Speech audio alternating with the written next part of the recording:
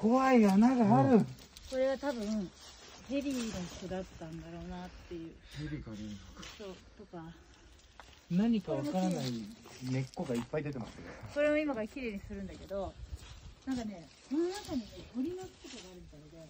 それがね入ってきたりとかもうでも鳥なんかは可愛いものでイノシシありますえー鹿そういった動物の憤慨は発見してます。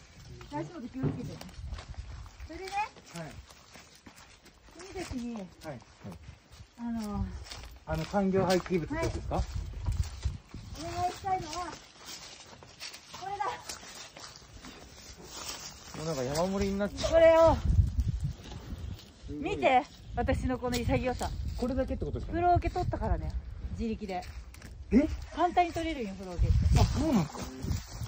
これと畳ぐらいってことですね。捨てるの。これ全部でございます全部をあのコンテナの中に今日一日で入れてもらいます。木も含め。全部。タイルだけ入れてください。タイルだけっていうか全部入れてくれないとお金だから。そうですね。そうだよ。ちゃんと入れないとお金たくさん払わなきゃいけないから。なぜ自分でやるっていうのはお金をかけないでやるってこともこのリフォームのテーマだか最後頑張って。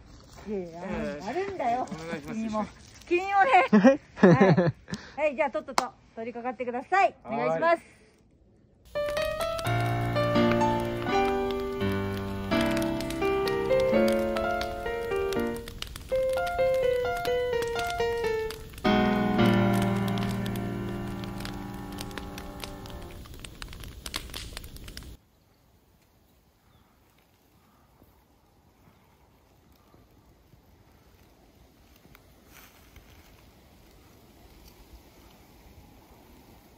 ちょいちょいちょちょ君たちボンボンボンボン入れてたら入んないよちゃんと入れ方考えてきちっとこれ全部入れられるように入れられるか入れられないかはあなたたち次第だからボンボン入れてたらすぐ山になっちゃっていっぱいになっちゃうじゃんそれ1枚1杯10万とかするんだよだからそこに全部どうやったら入るかって計算使しないと計算してます頭使って本当そうだよ。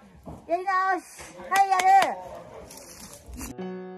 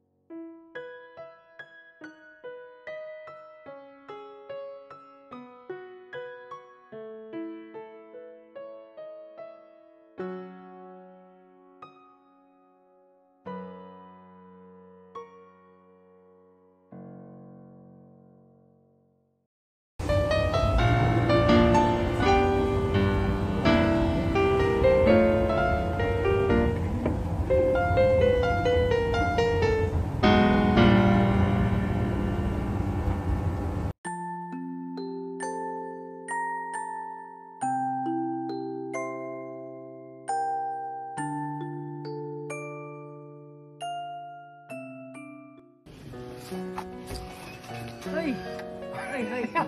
本気。本気よ。